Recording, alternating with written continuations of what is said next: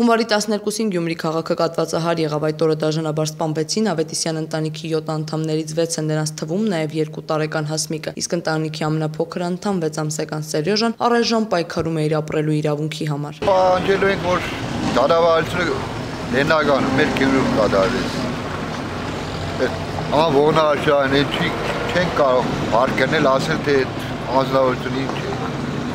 Պարզվեց սպանության մեջ հիմնական կասկածյալը Գյումրիում տեղակայված ռուսական 102-րդ ռազմաբազայի ժամկետային զինծառայող Վալերի Պերմյակովն է, թեև նրան ամենուր փնտրում էին հայ իրավապահները, միևնույնն է մարդասպանին հայտնաբերեցին ռուս սահմանապահները հայ-թուրքական սահմանին։ Հայտնաբերումից հետո հայ հասարակությունը շունչը պահած սպասում էր Հայաստանի Հանրապետության գլխավոր դատախազ Գևորգ Կոստանյանի հայտարարությանը, արդյոք մի ամբողջ հայ ընտանիքի սպանդի ենթարկած Վալերի Պերմյակովին կհանձնեն հայ իրավապահներին։ Սակայն Կոստանյանը որոշեց ցիտել Ռուսաստանի Դաշնության սահմանադրության հոդվածը, նշելով Վալերի Պերմյակովի Մոսկովին Հայաստանի Հանրապետության իրավապահներին հանձնելու հարց չի քննարկվում նկատի ունենալով ՌԴ սահմանադրության 61-րդ հոդվածի առաջին կետում ամրագրված արգելքը, համաձայն որի ՌԴ քաղաքացին չի կարող հանձնվել այլ պետության։ Դատախազի պատասխանն ապշեցրեց հայ հասարակությանը Գյումրեցիներն ավտոերտ կազմակերպեցին, որոշեցին գրոհել Գյումրիում տեղակայված ռուսական հյուպատոսարանը։ Հայ ոստիկանները պաշտպանեցին շենքը։ Գյումրեցիները հասան Գյումրիում տեղակայված 102-րդ ռուսական ռազմաբազա, որտեղ բախումներ եղան ոստիկանների եւ քաղաքացիների միջև։ Ի վերջո նրանք դատախազությանը վերջնաժամկետ տվեցին միջև հաջորդ օրվա ժամը 17-ը։ Այդ ընթացքում հայ իրավապահները Պերմյակովին որպես մեղադրյալ ներգրավելու մասին որոշում կայացրեցին։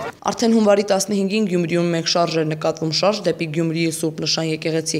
որտեղ դաժանորեն սպանված Ավետիսյանների ընտանիքի 6 անդամների հոգեհանգիստներ անմեղ զոհերին վերջին հրաժեշտ տալու են եկել ոչ միայն հազարավոր գյումրեցիներ, այլև հայաստանյան բարձրաստիճան պաշտոնյաներ։ Սակայն ցավը գյումրեցիներին չկոտրեց հուղարկավորությունից հետո նրանք հավաքվեցին Գյումրու դատախազության դիմաց, անկախ Գևորգ Կոստանյանի այն հայտարարության, որ ցույցերը որքան էլ բազմամարդ լինեն, միևնույնն է ոչինչ գործի ընթացքի մեջ չի փոխվի։ Հայ հասարակությունը շարունակեց պահանջել, որ Վալերի Պերմյակովի գործը հանձնվի հայ իրավապահներին։ Կոստանյանը բազմիցս դուրս ուներ Սարեջ Շիրակի դատախազության շենքում, քանի որ նրա պատասխանները հավաքվածներին չէին գոհացնում։ Նա ստիպված տղամարդավարի խոստում տվեց, ասելով 100% ձեր պահանջով կդիմեմ Ռուսաստանի Դաշնության դատախազին։ Այնուհետև ցուցարարների մի ստվար զանգվածը դատախազությունից շարժվեց Գյումրիում տեղակայված ռուսական հյուպատոսարան, բայց այնտեղ նրան դիմավորեցին ուժային կառույցի ներկայացուցիչները, սակայն ցուցարարները որոշեցին անցնել կենթանի պատը, բախում ծավալվեց, քարերն ու փայտերն ընդդեմ ոստիկանական մահակների ու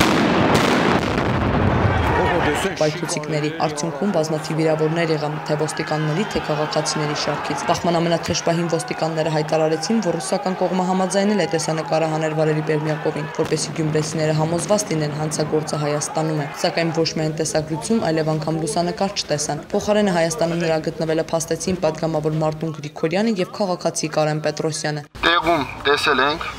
այդ վիժվասկի տղուն ինքն էր